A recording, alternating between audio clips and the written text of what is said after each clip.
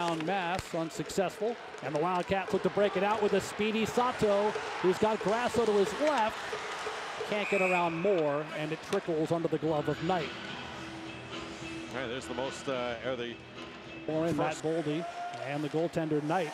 Here's a quick shot, kick save, left pad by Robinson. Focus stick in the process. Cotton, great crossover move against Dawson. Short side bid, Robinson stop. Follow a puck in front, and a stick in there is Gildon. the most important thing.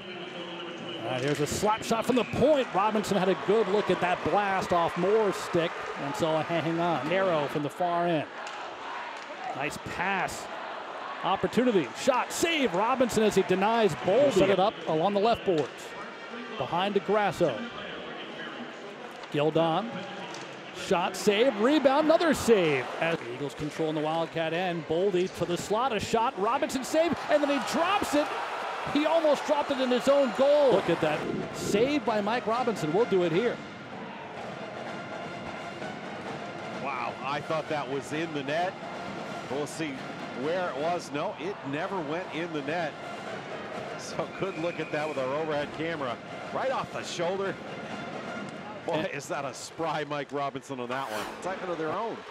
Gildon creating it, a shot and a stick save. Rebound out in front for Pierson. Took a whack at it. Couldn't. Kelleher banks it off to Crookshank. Crookshank moves in. He's in front. Backhand shot. Great save by Knight. And we are going to overtime at the Whittemore Center tonight. Zeros everywhere you look. Pierson moved in the wing to Wise. Gildon, a one-timer score!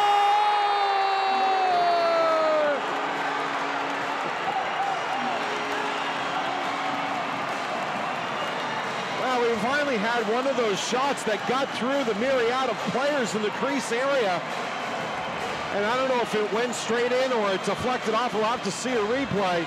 But it's a huge goal for the Wildcats. They pick up the 1 0 win. An exciting victory. Two points in Hockey East for UNH. There's the fish and all the celebration. The We only guy missing from the, the fish. Oh, it's going to be have a good look at by who should be the player of the game, Mike Robinson. Here's our look at it. Straight in, it was deflected. Angus Crookshank, first goal of the year for Angus, and none better. Look at that, deflected straight down. No chance for Spencer Knight.